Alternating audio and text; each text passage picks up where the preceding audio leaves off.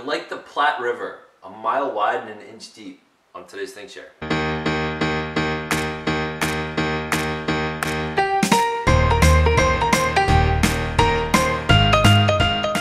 Hello and welcome to the Think Share. My name is Zach. I'm here to bring to you what I've been thinking about, sharing about, talking about, listening to, reading about that doesn't belong in math class. If you're new to the channel, I invite you to subscribe. I've been reading The Tribe of Mentors from Tim Ferriss and I'm on the Steven Pressfield chapter. One of the questions asked were, what are bad recommendations you hear in your profession or area of expertise? He went on to say that pretty much everyone goes from this to that. They don't really go really deep on anything. So the Platte River, I guess, is a mile wide and an inch deep. A good example of it is how many of you think about, you go on Facebook, you go on Instagram, you go on Snapchat, and you look at maybe over a hundred pictures or feeds. You just scroll through, scroll through, like something, scroll through, like something, scroll through, don't like that, scroll through, love that one.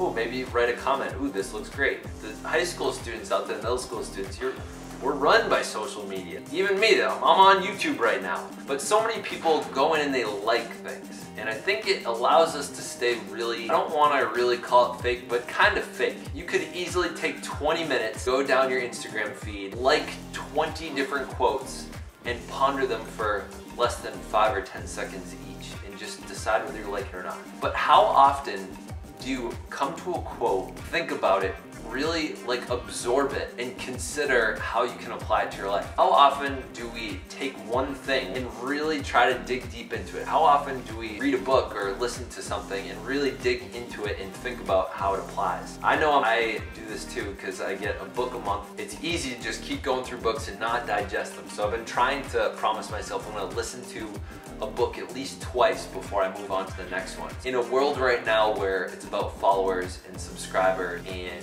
likes. We're all about the big numbers. We become more interested in numbers because of all the numbers that we have available to us. We have all this data showing us great things. Gary Vaynerchuk has talked about many times is he'd rather have a, a post that has five likes on it and three deep, deep comments than 10,000 views on a YouTube channel with 300 likes on it. He'd rather have the, the few that actually decide to dig deep and think about it. So ask yourself, where are you not digging that deep? Where is it that you could be spending a little more time rather than consuming more and more content and just eating a bunch of empty carbs? Where could you really be eating that good meal? Where could you really be having that nutrient dense thing and absorbing it and appreciating it and thinking deeply about it. As he says, it's uh, the disease of our time, and I, and I think I, I have that disease as well. And by me talking about it, I'm trying to become less hypocritical and consider and self-reflect on it.